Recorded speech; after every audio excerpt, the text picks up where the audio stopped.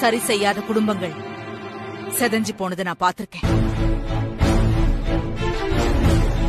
ஒரு குடும்பத்துக்கு பணம் காசை விட வீட்டுக்கு வந்த ஒரு நல்ல மருமக தான் இருக்கிறதுலயே பெரிய சொத்து. அவளோட நடவடிக்கைகள் தான் அழியாத செல்வம். குடும்பங்கிற தராசுல ஒரு பக்கம் மருமகளோட ஒழுக்கம் கட்டுப்பாடு அன்பு அரவணைப்பு இருந்தா இன்னொரு பக்கம். சந்தோஷம் நிம்மதி கௌரவம் இருக்கும். மருமக சரியில்லைன்னா தராசு ஆட்டம் காண ஆரம்பிச்சிடும் அப்புறம் குடும்பம் சின்ன பின்னமாயிடும். இப்ப நம்ம குடும்ப தராசு ஆட ஆரம்பிச்சிருக்கு.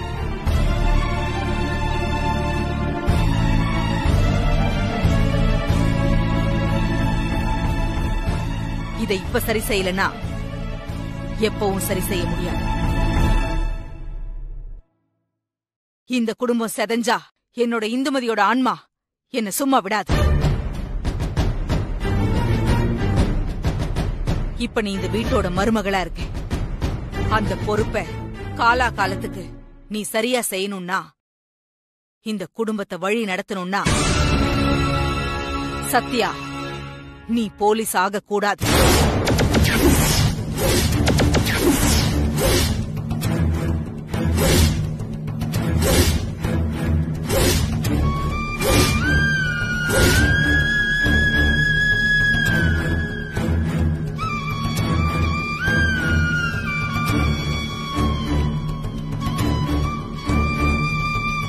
பொண்ணுங்க எல்லாரும். ஒரு கலெக்டர் ஆகணும் டாக்டர் ஆகணும் வக்கீல் ஆகணும் போலீஸ் ஆகணும்னு ஆசைப்படுறாங்க. ஆனா அதை விட பெருசு அவளுக்கு மருமகங்கிற ஸ்தானம். வீட்ல இருக்கிறவங்களோட ஆரோக்கியத்துக்கு நல்ல டாக்டராவும் குடும்ப சிக்கல கையாள்றப்போ ஒரு நல்ல வக்கீலாவும் வீட்டுக்குள்ள எந்த தப்பும் நடக்காம பாத்துக்க ஒரு போலீஸாவும் மொத்தமா அந்த குடும்பத்தை வழி நடத்துறதுல ஒரு கலெக்டராவும் இருக்கு.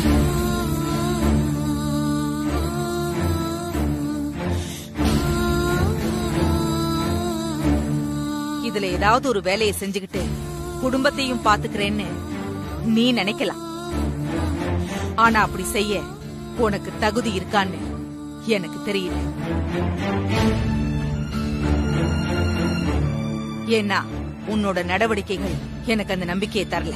நீ வெளிப்படையா இல்ல. டைவர்ஸ் நோட்டீஸ் வந்ததை விட இந்த குடும்பத்துக்கு வேற அவமானம் தேவையில்லை.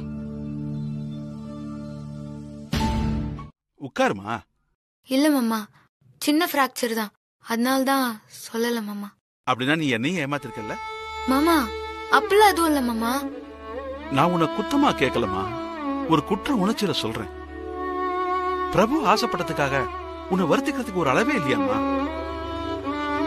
காம்படிஷன் போறேன்னு அன்னைக்கு என்கிட்ட வந்து ஆசீர்வாதம் வாங்கின அப்பவாது உண்மையை சொல்லிருக்கலாம்ல என்னம்மா சத்யா நீ? அப்பா ஆ? கால் இப்படி ஆனதை பத்தி கடைசி வரைக்கும் என்கிட்டே சொல்லப்பா. அண்ணா சும்மா இருண்ணா. அண்ணி இடத்துல நீ இருந்தாலும் பிராக்சர் ஆனதை மறைச்சிட்டு காம்படிஷன்ல ஓடிதானே இருப்ப? கரெக்ட் தானே? பாசம் வைக்கிறதுல உங்க ரெண்டு பேர்ல ஒருத்தருக்கு ஒருத்தர் சலைச்சவங்களே இல்ல. இப்ப கால்வல் எப்படிமா இருக்கு? டாக்டர் போய் பாத்தியா? ஆ இல்ல மாமா. நேத்து டாக்டர் பேசணும் ஃப்ராக்சர் அதிகமா இருக்கும். வீக்கம் மெதுவா தான் குறையும்னு சொன்னாங்க. ஆனா வீக்கம் சீக்கிரமாவே குறைஞ்சிச்சு மாமா. நீயும் தான் எவ்வளவு கஷ்டப்படுவமா? அஞ்சு வருஷமா பிரிஞ்சிருந்து கஷ்டப்பட்ட. இப்ப பிரபு கூட சேர்ந்தும் உன் இஷ்டத்துக்கு இருக்க முடியலையம்மா உனக்கு எஸ்ஐ ஆகிறதுக்கான அத்தனை தகுதியும் இருக்கு. அதுக்கு வாசலும் திறந்துடுச்சு. என்ன பண்றது? ஆனா போலீஸ் ஆக முடியலன்னு உன் மனசு வேதனைப்படுறது எனக்கு தெரியுதுமா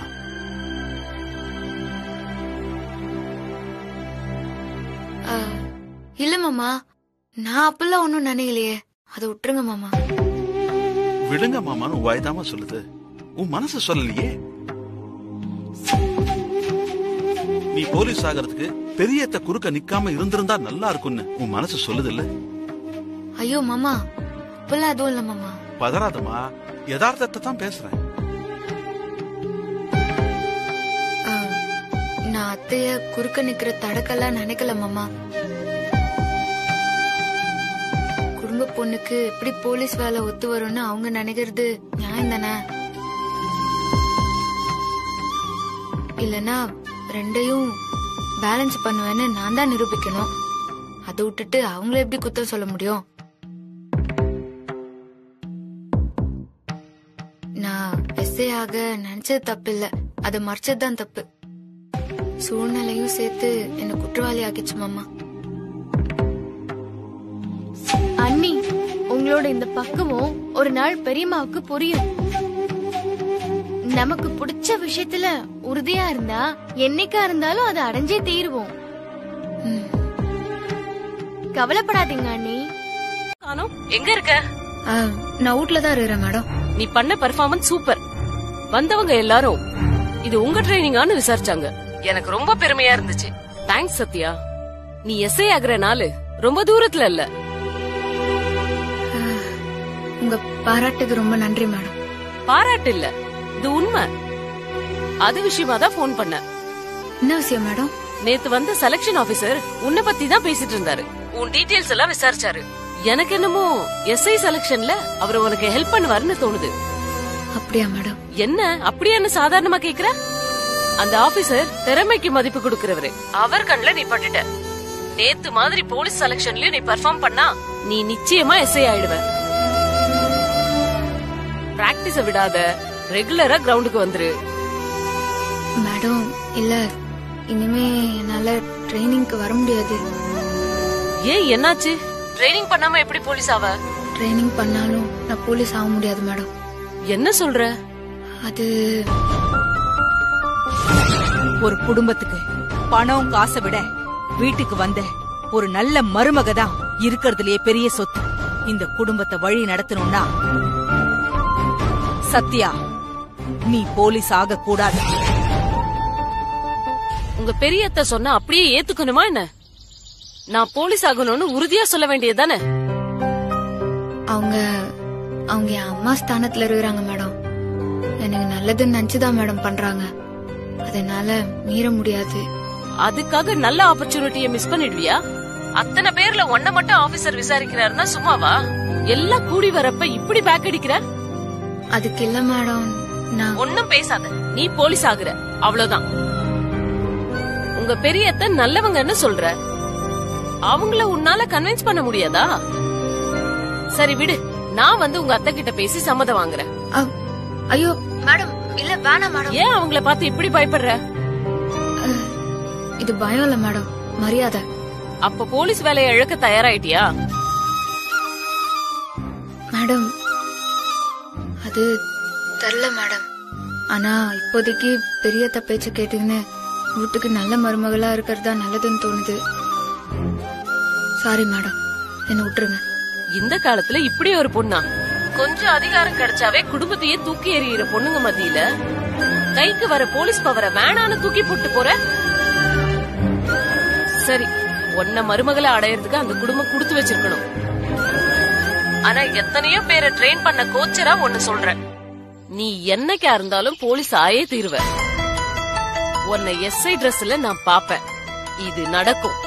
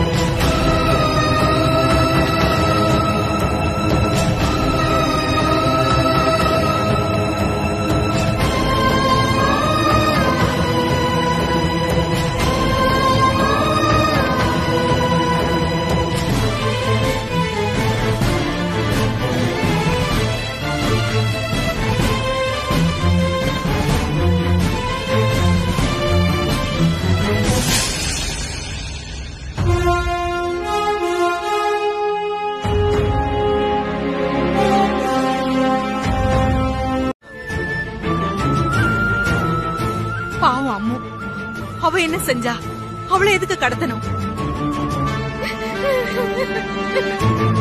ஒண்ணுமே புரியலையா அமுல் பேபி இப்ப என்ன பண்றது?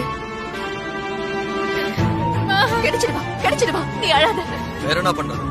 உடனே போலீஸ்க்கு தான் இன்ஃபார்ம் பண்ணோம். சித்தப்பா இருங்க. அதான் உங்க போலீஸ் போக கூடாது சொல்லிருக்காங்களே அதுக்காக அப்படியே விட சொல்றியா? டென்ஷன் ஆகாதீங்க. ஏதோ ஒரு காரணத்துக்காக தான் அம்மாவை கத்திக்கிறாங்க. அவங்க கண்டிப்பா ஃபோன் பண்ணுவாங்க. அதுக்கப்புறம் என்ன பண்றதுன்னு யோசிக்கலாம். கரெக்ட்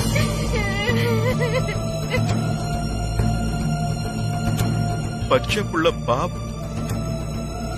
அது என்னடா பண்ணுச்சு? ஏன்டா இப்படி எல்லாம் பண்றீங்க? அண்ணி அம்மா மட்டும் இல்லனா நான் செத்துருவேன். ஏய். சௌமியா அம்மாவை எப்படியாவது காப்பாத்துங்க? தைரியமா இது சௌமியா. சௌமியா ஒண்ணும் ஆயிருக்காதுமா குழந்தைக்கு ஒண்ணும் ஆயிருக்காது நீ கவலைப்படாத.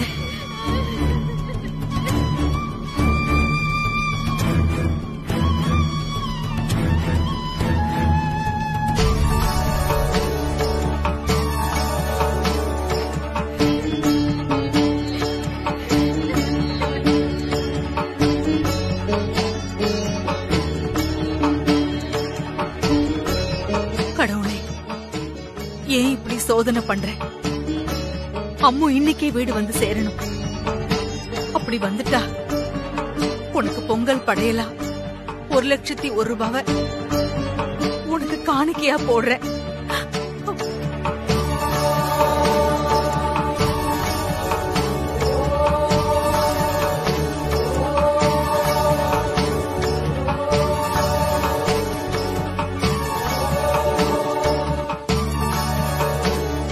அதுக்கு அச்சார காணிக்கையா?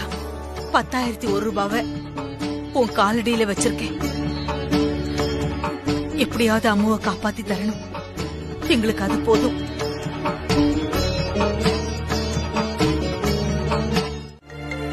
இப்ப என்ன சொல்றது?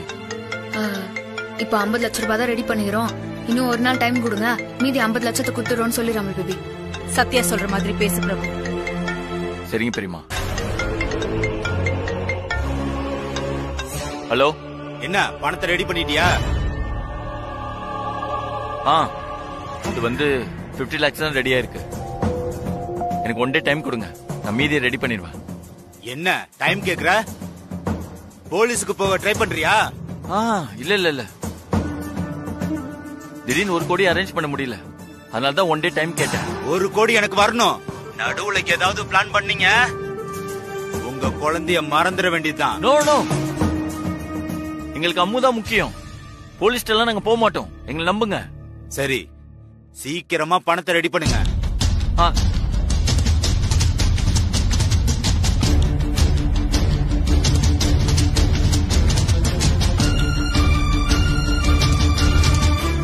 நம்ம இனியும் டைம் வேஸ்ட் பண்ணக்கூடாது. உடனே ஸ்டேஷனுக்கு போலாம். வாங்க. யார் யாரெல்லாம் போலீஸ் ஸ்டேஷனுக்கு போறது? வீட்ல எல்லாரும் இருக்கிற மாதிரி கிட்னாப்பர்ஸ்க்கு தெரியணும். அதனால நான் ரவுடி பேபி நீங்க சௌமியா நம்ம நாலு பேர் போலாம். அப்பா சித்தி சித்தப்பா இங்கே இருக்கட்டும்.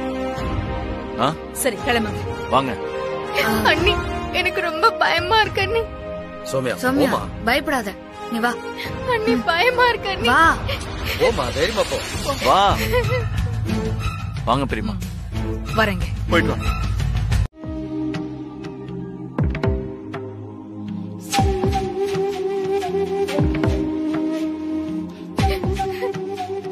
எப்படி இருக்கான்னு தெரியல. எனக்கு ரொம்ப பயமா இருக்குங்க. அதான் ஸ்டேஷன்ல கம்ப்ளைண்ட் பண்ணிருக்கோம்ல. கண்டிப்பா போலீஸ் கண்டுபிடிச்சு கொடுத்துருவாங்க. கவலைப்படாதீங்க சித்தி. என் கவலையே நீங்க போலீஸ்க்கு போனதுதான். இந்த சத்யா பேச்சு கேட்டுட்டு நீங்க பாட்டுக்கு கம்ப்ளைண்ட் பண்ணிட்டீங்க. இது உங்களுக்கு தெரிஞ்சா கடத்தனவங்க சும்மா இருப்பாங்களா? நான் தெரியாம தான் கேக்குறேன். உங்களுக்கு காசு பெருசா குழந்தை பெருசா? நிர்மலா ஸ்டேஷன்ல எஸ்ஐ அம்முவ தேடி கொடுக்கறேன்னு சொல்லிருக்காரு. எங்களுக்கு மீட்டு தருவாருங்கிற நம்பிக்கை இருக்கு. போலீஸ் அப்படிதான் சொல்லுவாங்க. நமக்கு நம்ம குழந்தைதான் முக்கியம். நீங்க போலீஸ் போனதுக்கு இந்நேரம் கடத்தல்காரனுக்கு தெரிஞ்சிருக்கும்.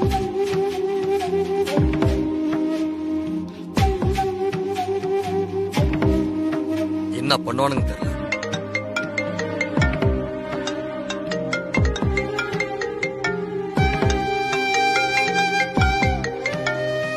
Unknown number. நான் சொல்லல அவனுங்க தான் ஸ்டேஷன்ல கம்ப்ளைண்ட் கொடுத்த மேட்டர் அவனுங்களுக்கு தெரிஞ்சு போச்சு.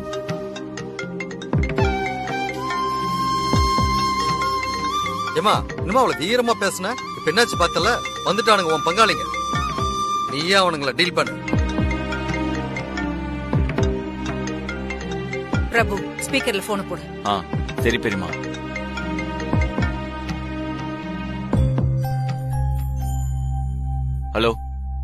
என்ன போலீஸ் அண்ட போனீங்களா?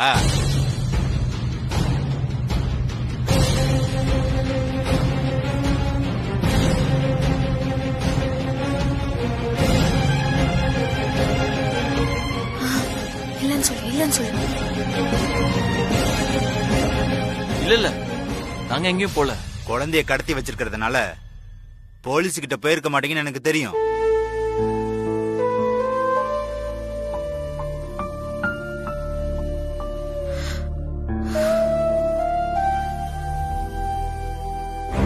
கேட்ட ஒரு கோடி என்னாச்சு? எல்லா பணத்தையும் ரெடி பண்ணிட்டியா? அது விஷயமா தான் நான் அழிஞ்சிட்டு இருக்கேன். நாளைக்கு மார்னிங் உங்களுக்கு ரெடி பண்ணி கொடுத்துறேன். கொடுக்கணும். இன்னைக்கு நைட் வரைக்கும் தான் உனக்கு டைம் பணம் எனக்கு வரலனா குழந்தை வீட்டுக்கு வர மாட்டா பாத்துக்கோ. எங்க எங்க இத பாருங்க. எங்களுக்கு அம்மு தான் முக்கியம். பணத்தை கண்டிப்பா கொடுத்துறோம். சரி. எனக்கு பணம் வந்து ஆகணும் ஹலோ.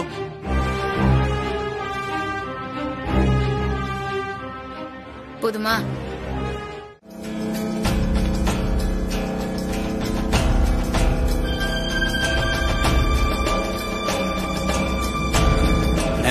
நம்மளை தேடி போலீஸ் வராங்கண்ணே ஏய் நீ யாரு?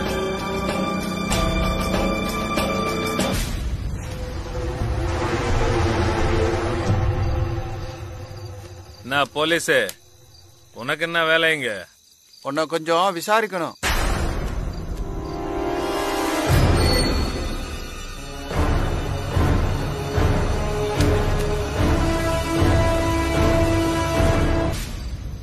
அடி மூஞ்சில கோடு போட்டுருவேன்.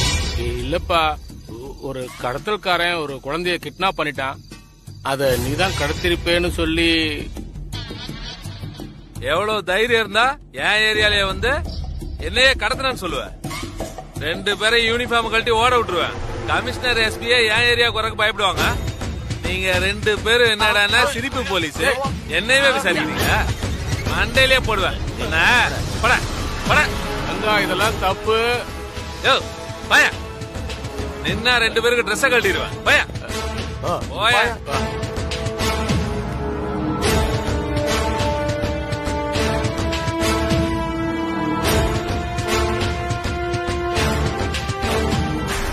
என்னாச்சு? மேடம் ரொம்ப அவமானப்படுத்திட்டாங்க. இந்த யூனிஃபார்ம் போடுறதுக்கே எனக்கு வெக்கமா இருக்கு மேடம். மேடம் திருப்பி போலீஸ் கிண்டல் பண்றாங்க மேடம்.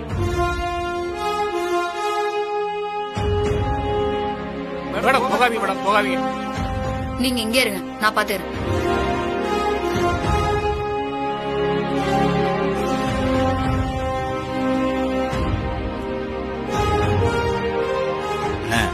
ஏதோ பொம்பளை போலீஸ் வருதுண்ணே அட விளையாடுற.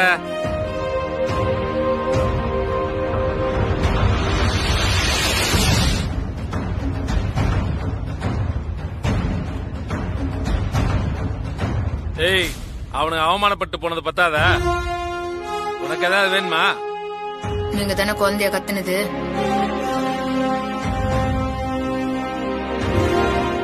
அடிங் என்ன கேட்ட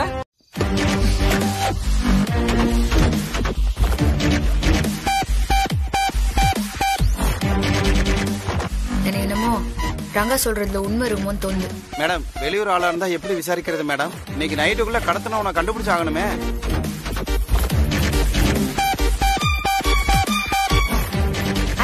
ஃபோன் பண்ணி ஒரு வாரத்துக்கு முன்னாடி வந்த பேசஞ்சர் லிஸ்ட் எல்லாம் வாங்குங்க.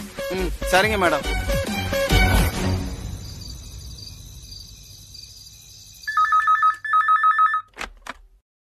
Hello domestic terminal sir நான் வளசரவாக்கம் சி த்ரீ போலீஸ் ஸ்டேஷன்ல இருந்து கான்ஸ்டபிள் பேசுறேன் சார். ஒரு குழந்தை கிட்னாப் கேஸ்ல இருந்து மும்பை டு சென்னை வந்த ஒன் வீக் பேசஞ்சரோட லிஸ்ட் வேணும் சார் எங்களுக்கு. கேக்குற டைம் ஆகுது நாளைக்கு வாங்க. Sir sir sir. ரொம்ப அர்ஜென்ட் சார் எங்களுக்கு. கான்ஸ்டபிள் கேட்டாலாம் தர முடியாது. உங்க ஹையர் ஆபீசரை பேச சொல்லுங்க.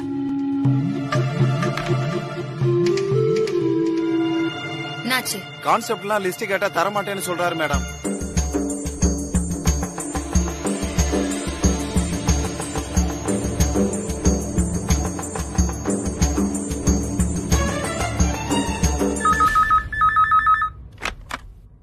ஹலோ. என்ன சார்? கான்ஸ்டபிள் ஆண்டெல்லாம் லிஸ்ட் தர மாட்டேன்னு சொன்னீங்களா? ஏன்? அப்படி ஏதாவது சட்டத்துல இருக்குதா என்ன? மேடம் நீங்க? நான் எஸ்ஐ சத்யா. அது என்ன மேடம்? என்ன இல்ல? உங்க வீட்ல திருட்டு நந்தா ராணுவத்துக்கா போன் பண்ணுவீங்க? போலீஸ தானே கூப்பிடுவீங்க?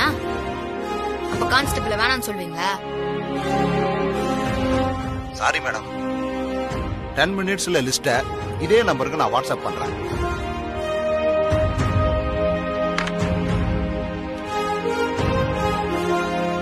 லிஸ்ட் இப்ப வந்துரும்.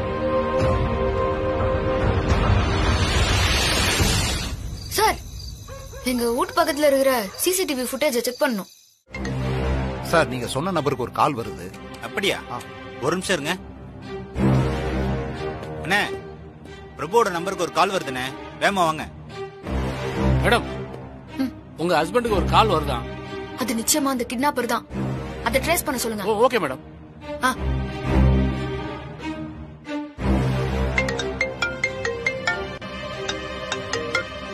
ஹலோ? இவ்வளவு சொல்லியும் போலீஸ் கிட்ட போயிட்டீங்களா? என்னங்க? சார் என்ன சார் அந்த காலை ட்ரேஸ் பண்றீங்களா? ஆமா சார் பண்ணிட்டு தான் இருக்கேன். ரெக்கார்ட் ஆகுதுல? ஆ ஆகுது சார். என்ன பதிலே காணோம்? உண்மை தெரிஞ்சு போச்சுன்னு பயமா இருக்கா? என் பேச்ச கேட்காம நீங்க போலீஸுக்கு போனதுனால குழந்தைய கொல்ல போறேன். ஐயோ வேண்டாம். அப்படி எல்லாம் செஞ்சிடாதீங்க. நான் அப்பவே போலீஸ்க்கு போக வேண்டாம்னு சொன்னேன். யாராவது கேட்டீங்களா?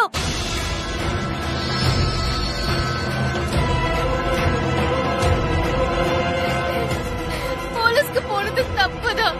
மன்னிச்சிடுங்க. என் குழந்தை எனக்கு வேணும். ஏங்க சாரி அவசரத்துல ஏதோ நடந்துருச்சு. நீங்க கேட்ட பணத்தை நாங்க தந்துடுறோம். கால்ல கூட விழுந்துடுறோம் என் பேத்திய ஒண்ணும் பண்ணிடாதப்பா. ப்ளீஸ்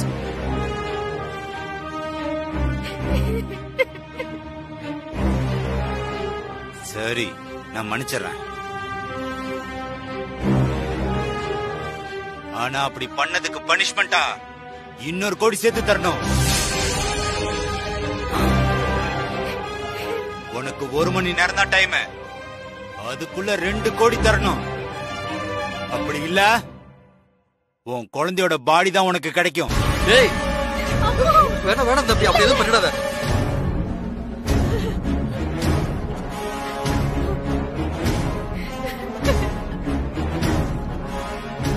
சத்யா பேச்சு கேட்டு போலீஸ்க்கு போய். இப்ப குழந்தை உயிருக்கே ஆபத்தாயிடுச்சு. அவளுக்கெல்லாம் குழந்தை குட்டி இருந்தா தானே தெரியும். சித்தி பொறுமையா பேசு நிர்மலா. இப்ப இருக்கு போலீஸ்க்கு போக வேண்டாம் பொறுமையா இருக்குன்னு சொன்னனே. அதை மட்டும் சத்யா கேட்டாளா? இப்ப பாருங்க என்னாச்சு?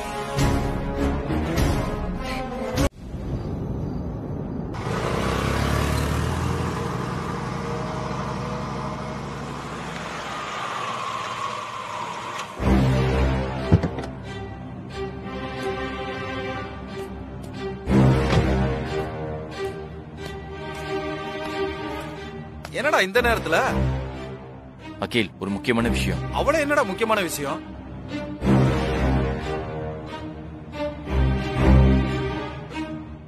எனக்கு ஒரு கோடி ரூபாய் பணம் வேணும். கிடைக்குமா? ஒரு கோடியா?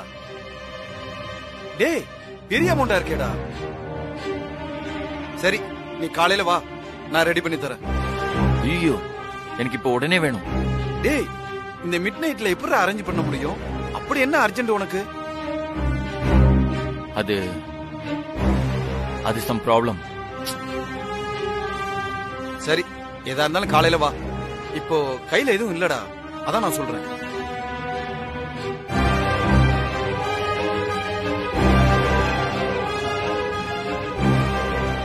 சரி தேங்க்ஸ் நான் வரேன். ஆ ஓகேடா.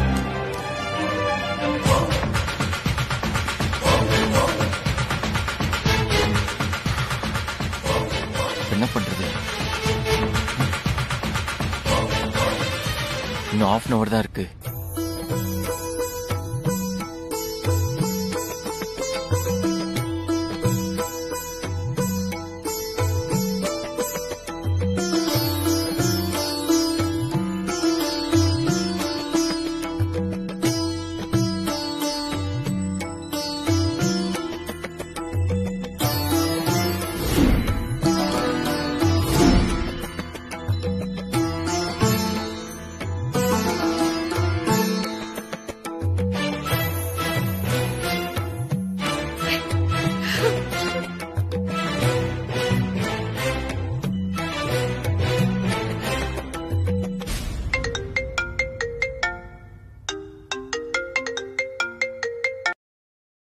சொல்லுங்க பெரியமா என்ன பிரபு? பணம் கிடைச்சதா? ஆ கிடைச்சணும் பெரியமா அப்ப இன்னும் ஏற்பாடு ஆகலையா? சீக்கிரம் ரெடி பண்ணுப்பா. சரிங்க பெரியமா நான் ஏதாவது பண்றேன். சரி.